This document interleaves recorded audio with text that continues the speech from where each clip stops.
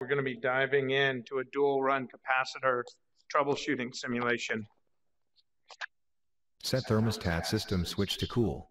Note, the set to temp of 72 is below the inside temp of 78 degrees. Very quickly, you get to hear our uh, the audio controls that you have.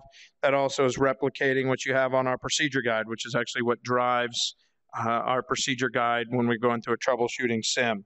So I'm going to get the thermostat going.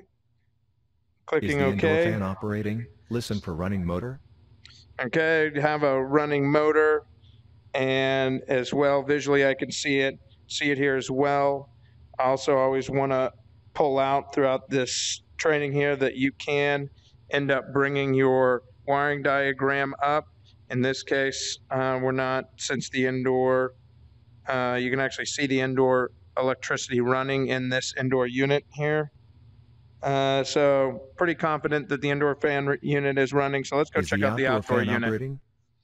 I can see visually that the uh, that the fan's running, but I'm thinking that there's going to be an issue with the compressor. Is compressor running? Uh, I was done this so many times. I'm now getting good at uh, what I need to be checking. So is the compressor running? Actually, Assume no. compressor is off on overload due to locked rotor amperage. Turn off external disconnect.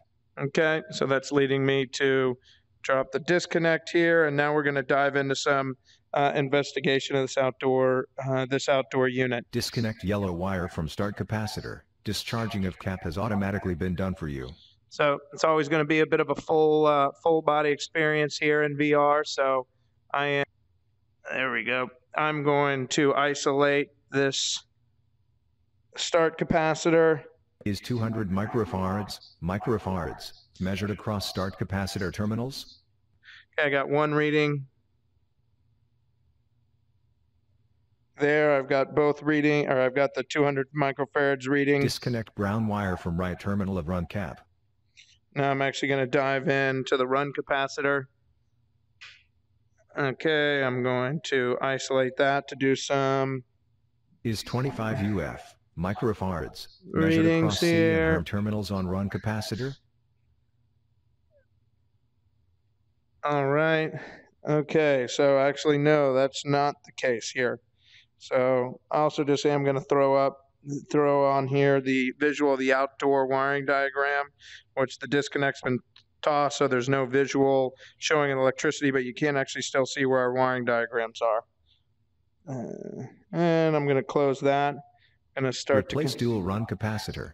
because of that, we obviously are confident that hey, it's a run capacitor issue. So now I'm going to work on replacing it, and that ended up reconnecting all of our uh, the additional start capacitor as well. So now I'm going to get the t- system tested, turn it on here. Should be able to pop into our outdoor wiring diagram. I now can actually see how electricity is flowing through because now the um, electricity and with the right capacitor is completed. And as well, I can jump over to the return vent, confirm that, yeah, there actually is cool air going on. So now I can click finish and go on to my next troubleshooting situation.